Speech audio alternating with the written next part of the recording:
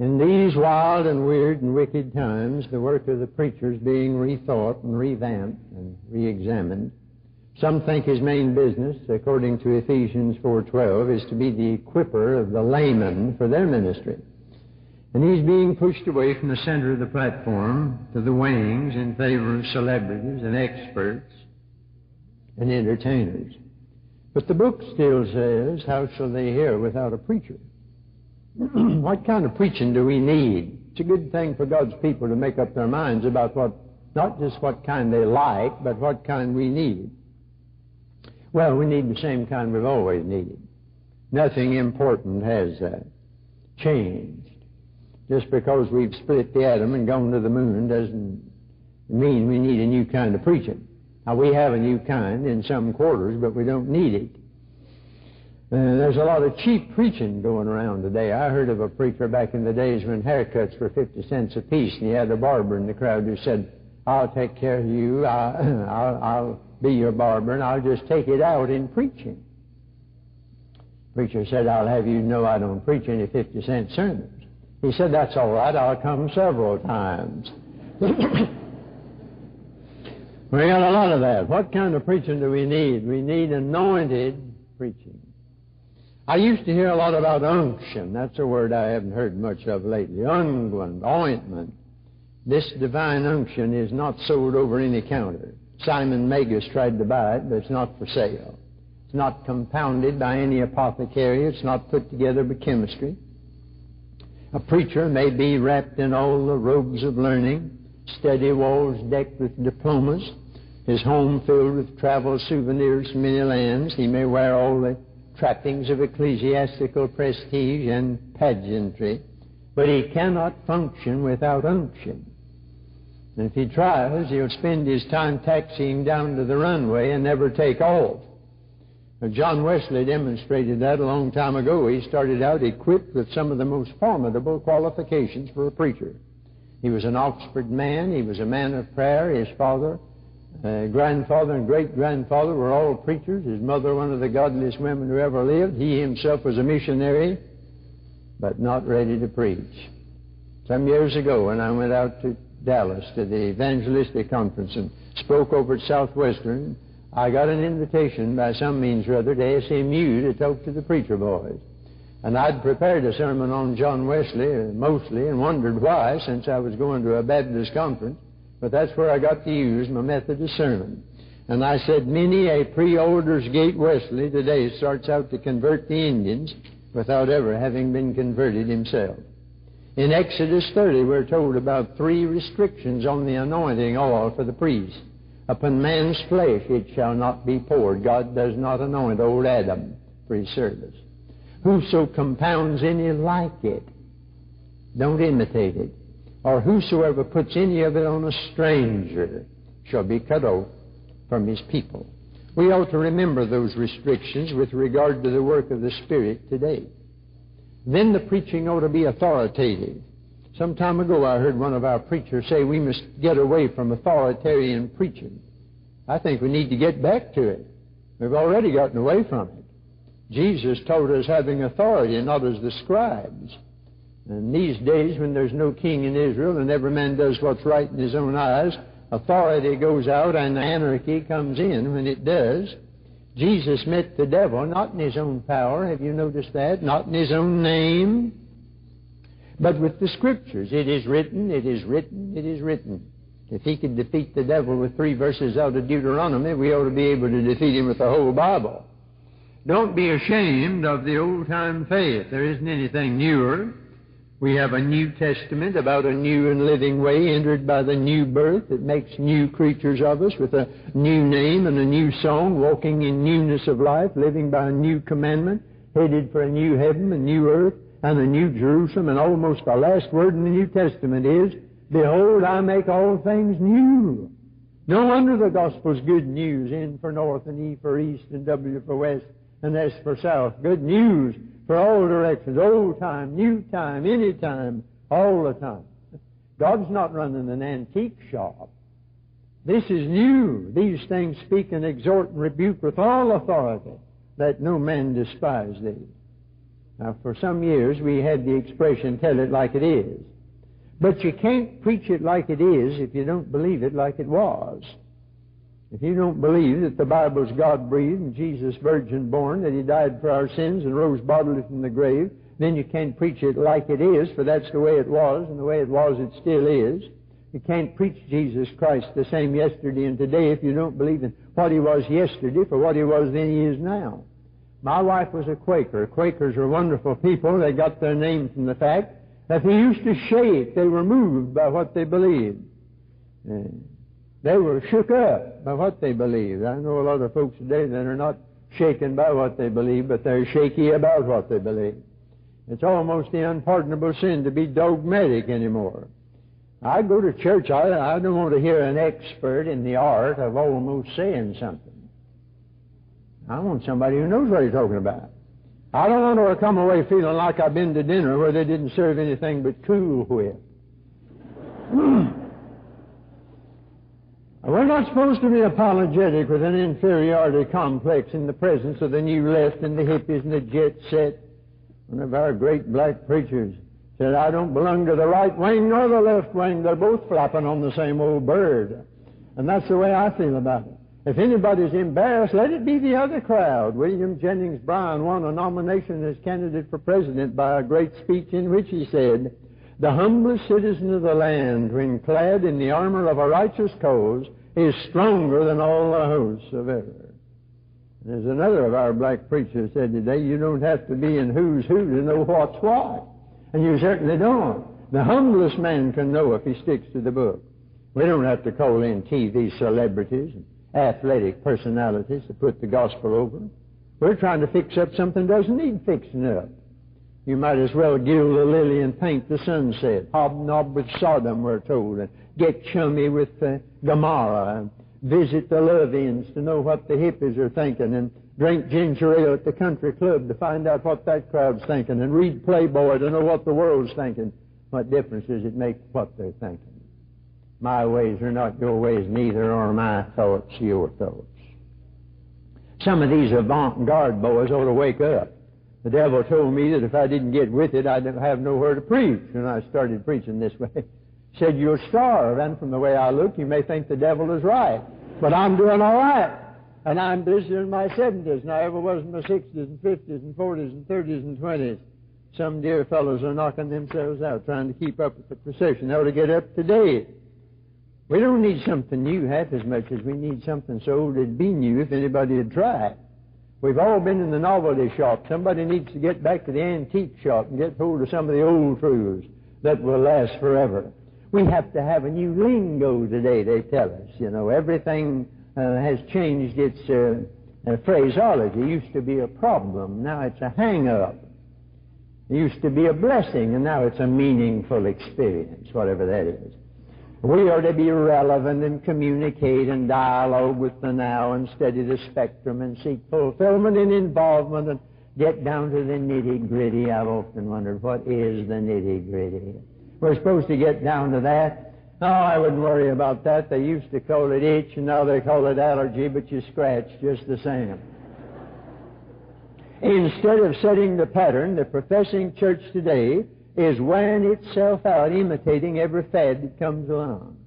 Every time the world comes out with something new, here comes the church trotting along trying to imitate it. God didn't call the church to be an accompanist to, to anything. He called the church to be a soloist. We've got our own song to sing and our own message to give. And they say, well, the end justifies the means, but we forget that the means determines the end. And if it's an unworthy means, you have already spoiled the objective before you ever get to it. And then we need absolute preaching. This is a day of relativism. Right is still right, though, and wrong is still wrong. But we've smudged it into indefinite gray. But if it was right 50 years ago, it's still right. If it was wrong, then it's wrong now. We're living in a day of wars that we neither win nor lose. Everything has got blurred. Douglas MacArthur said before Congress, in war there is no substitute for victory. And there isn't. I like to read what one great preacher says about another. Joseph Parker said this about Spurgeon. The only colors that Mr. Spurgeon knew were black and white. In all things he was definite. You were either up or down, in or out, alive or dead. As for middle zones and graded lines and light compounded with shadow in a graceful exercise of give and take, he looked on them as heterodoxy and as the implacable enemies of the Metropolitan Tabernacle. In other words, you knew where Spurgeon stood. We're dealing in absolutes, the absolute authority of the Scriptures, the absolute lordship of Christ, the absolute sovereignty of the Holy Spirit. That sounds too dogmatic for some folks because they're living in a fog. They've moved all the way from dogma to smogma, and that's a terrible place to live. Jesus Christ was absolute. He that is not with me is against me. He that gathereth not with me scattereth abroad. Not only leaves room for two kinds of folks. Uh, there is no such thing as an inactive church member in the light of that verse of Scripture. Because if you're not gathering people for Jesus, you are driving people away from Jesus. He that gathereth not with me scattereth abroad. But you're active, one way or the other. But while we're authoritarian and absolute, we must be affectionate, speaking the truth in love. Some speak the truth and don't have love, and some preach love and don't have the truth. Get the mixture right. A man with one foot in hot water and the other in ice water is a bad fit. We ought to sort of mix it. The truth will keep you from dissolving into sentimentality. Love will keep you from hardening into severity, and the truth will keep you from turning to sugar, and love will keep you from turning to vinegar. I know the Lord preserves His saints, but He doesn't pickle them.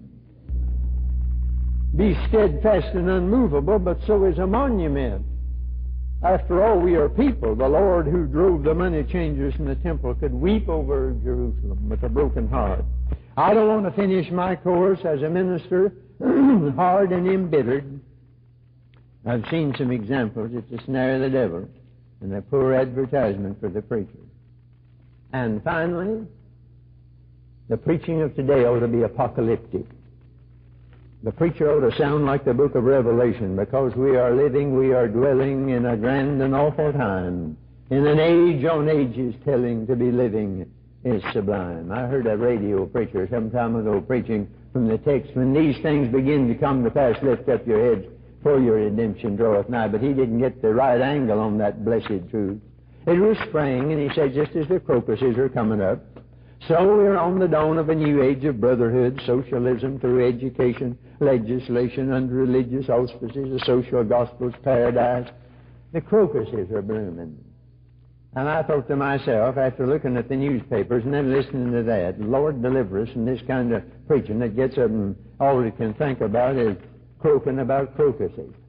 We've got something facing us more serious than all this. Lord, have mercy on such a preacher. Beloved, we're living in a day of beasts and seals and trumpets and the four horsemen and the harlot on the beast and scorpions and dragons and the sea of glass mingled with fire and earthquakes and falling stars and Babylon and the bottomless pit and the lake of fire and Gog and Magog and the 666 and the downfall of the devil and the great white city coming down. It's no time to tiptoe through the tulips in a day like this. I know that uh, the news is bad, but for a Christian, good news is bad news, and bad news is good news. When they shall say peace and safety, that sounds like good news. Sudden destruction draweth nigh, that's bad news. When you see men's hearts failing them for fear, wars and rumors of wars, that's bad news. But lift up your heads, your redemption draweth nigh. It's exactly the other way around with the Christian. I'm not waiting for the abolition of war and poverty and urban renewal. I'm living in the great until. Next time somebody asks you what time it is, tell them it's until. And that may give you a chance to point out that the New Testament's just loaded with until. He which hath begun a good work in you will perform it until the day of Jesus Christ. I'm waiting until until he that hindereth be taken out of the way. I'm doing nothing before the time until the Lord comes. I'm waiting until the times of the Gentiles be fulfilled. I'm waiting until the fullness of the Gentiles be come in. I'm waiting until He's put all things under His feet. I'm waiting until He subdues all things under Himself. I want to be sincere and without offense until the day of Jesus Christ. I want to hold fast what I have until Jesus comes. When I partake of the Lord's Supper, I want to show forth His death until He come. I want to remember that He said, Occupy until I come. I'm waiting until all enemies be made his footstool. Until. A.J. Gordon's tombstone has on it just three words until he comes. When my dear, my dearly beloved was about ready to go to heaven, she couldn't talk, but she could still write, and she'd heard this sermon quite a bit. And she managed to scribble how I don't know, but I keep it, I have it. I am going through things I can't tell you about until. And that was all. And you know, nowadays I preach this so much that I'm getting a lot of letters from good people, and many of them, instead of signing sincerely or yours truly, are signing until. I think that's a good way. Well, you say, uh, how will his enemies be made his footstool? By the preaching of the gospel? No. By social action? No. By improving the environment? No. That's important, but that won't do it. When we're up to our ears in crocodiles, it's no time to discuss how to drain the swamp. We got crocodiles on our hands. When he comes again, it'll be cataclysmically, apocalyptically, and suddenly. He's not coming to hold a summit conference with his enemies. He's not coming to reconcile. He did that first time. He's coming to destroy and to conquer and to subdue. The day of reconciliation will be over and the day of retribution will begin. The first time he came quietly, a babe in Bethlehem, he didn't cry aloud, nor was his voice heard in the streets. Next time there'll be plenty of noise, a shout, the voice of an archangel, the trump of God. It'll wake up the dead. People used to ask, how could an angel's voice and a trumpet sound be heard around the world? They don't ask that now. A man can blow a trumpet in New York and be heard in Australia. Our eardrums have been shattered by the devilish dissonance of rock and roll and sometimes even gospel jazz. If a man can blow a trumpet loud enough to deafen the living, an archangel ought to be able to blow one loud enough to wake up the dead. I'm expecting it. Bev Shea sent me this uh, this record, uh, "The King is Coming," his album, and he said, "Vance, I've had criticism from some of the super fundamentalists." He didn't call them that, but I do. I'm a fundamentalist too, but uh, he said they don't think that song has the eschatological program in logical order. Uh, I don't know what he meant, what they meant, but. I said, well, babe, don't worry. Some of us prees can be pretty preposterous sometimes. And indeed we can. I believe he's coming. I don't have all the program worked out with all the I's dotted and all the T's crossed. I believe he can come any minute, and I don't belong to the crowd that thinks he may not come for a million years. I'm looking for him. There's a lot of difference between waiting and watching. Everybody's got to wait. You can't do anything else but wait. But are you watching? The book says to watch. Dr. W.B. Riley, for 40 years, pastor of the First Baptist Church in Minneapolis, a great man of God, baptized my wife, a great old warrior of the cross. He knew a Methodist bishop who didn't believe uh, a lot and looking for Jesus to come any time, and after some separation they met, and the bishop said, Well, Riley, Jesus hasn't come yet. Riley said, No, Bishop, and for your sake, I'm glad he hasn't. I'm looking for him. That just about wraps it up. I'm not looking for signs. We've had plenty of signs. I'm listening for a shout. Peter says there'll be scoffers saying, Where is the promise of his coming? The next time you hear some fellow say there are no signs, you've just seen another sign. He's a living placard advertising the very thing that he denied. So I'm listening for a shout. Even so, come Lord Jesus. God give us anointed preaching today, authoritative, absolute, affectionate, and apocalyptic. God bless you.